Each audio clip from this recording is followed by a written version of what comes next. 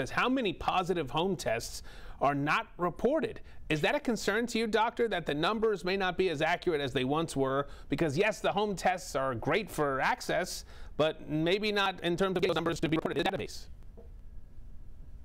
So that's exactly true. You know, the number that's being reported are numbers that are, you know, people being tested generally outside of the home. There is a way um, as well, if you test positive at home, to actually put your information to a database on the CDC. So you can find that on the CDC website. So some people who actually test positive at home are part of this um, number when they report the number of positive cases. But yes, I do think that in general, we do think that there is a decrease in the cases of COVID 19 at this time, but the number that is being reported um, of our general society is probably lower than what is true because of these home testing kits.